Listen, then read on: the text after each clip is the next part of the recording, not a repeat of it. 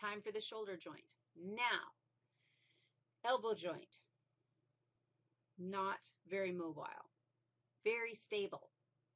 Shoulder joint, holy mobility. In fact, it's the most mobile joint in your body. What does that tell you about its stability?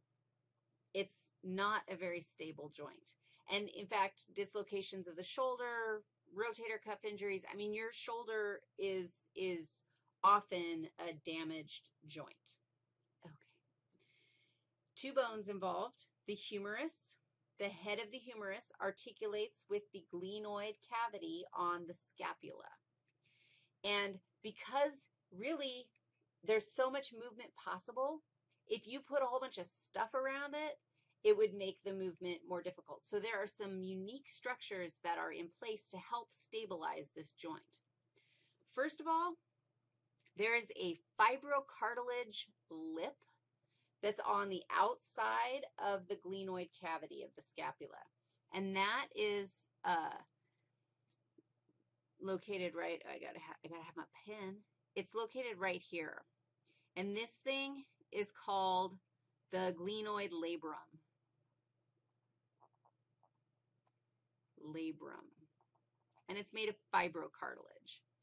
Normally, our articulating bones are lined with articular cartilage, which is made out of what? Hyaline cartilage, and you can see that here. We still have the hyaline cartilage, articular cartilage, but we also have an added structure, the glenoid labrum. It just kind of increases the, the reach of the glenoid cavity and helps hold that humerus in place just a little bit. You can see my articular capsule right here.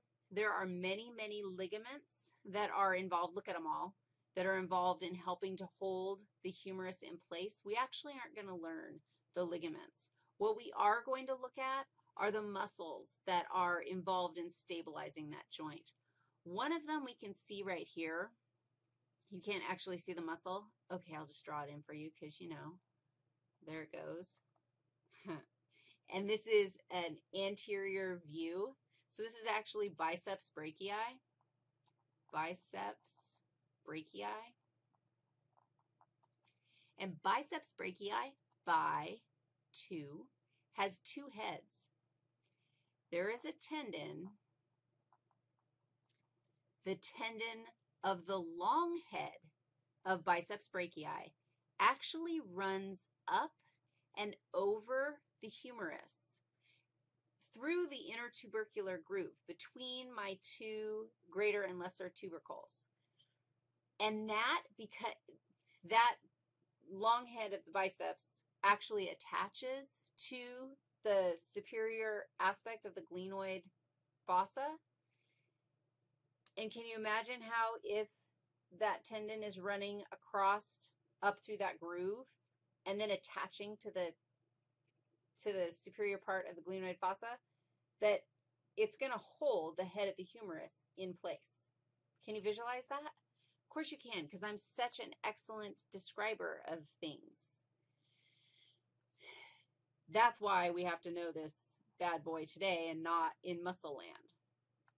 More muscles that we have to know today. We're going to know all the rotator cuff muscles. Why?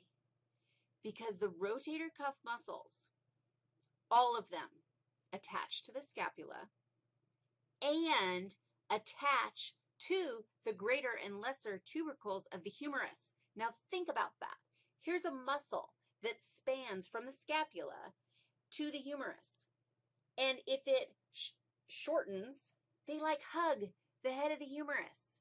And while they're hugging the head of the humerus, if they shorten, they actually squeeze the humerus back into the glenoid cavity because they're shortening and pulling it in, essentially stabilizing the joint, keeping the head of the humerus in the glenoid cavity.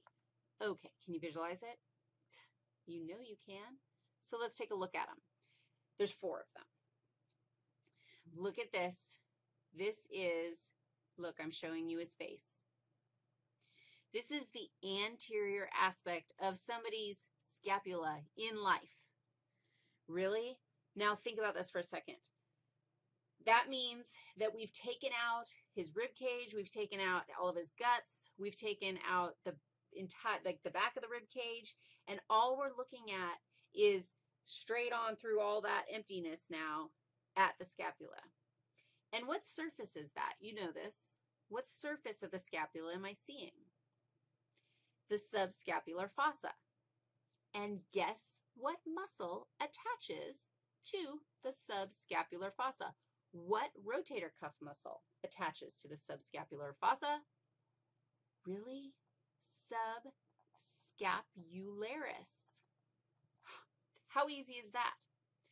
Not only is subscapularis the only rotator cuff muscle that attaches on the, you have to call it the anterior side of the scapula, it's the only one that attaches to the lesser tubercle. All my other rotator cuff muscles attach to the greater tubercle. Okay? So subscapularis attaches to the lesser tubercle of the humerus. And look at, it's hugging the humerus. Easy. Now, you are now looking at the back side. Okay, look, I'm going to put some hair on this person. And now you're looking at my person. But guess what? You're looking at the back of his head. All right? So now we're looking at the back side. Just take off the skin, no problem. Now we should be able to see all these muscles. It's not crazy. They all attach to the greater tubercle.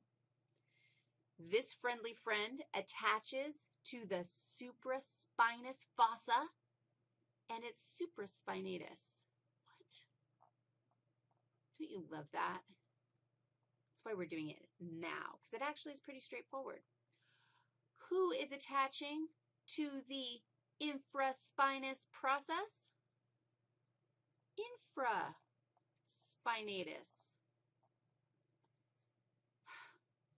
And who is attaching to the lateral, upper lateral border of the scapula? Could it get any easier than this? It's teres minor. Okay, that one makes absolutely no sense. The other two, done. You already know your scapula marks. Teres minor, okay, you're going to have to memorize one muscle here. But you have to know it next week anyway, so you might as well learn it now. Teres minor is the most inferior of the group, like its own little, it's on the bottom of the line. But all of them are attaching to the greater tubercle and hugging my little buddy, the head of the humerus.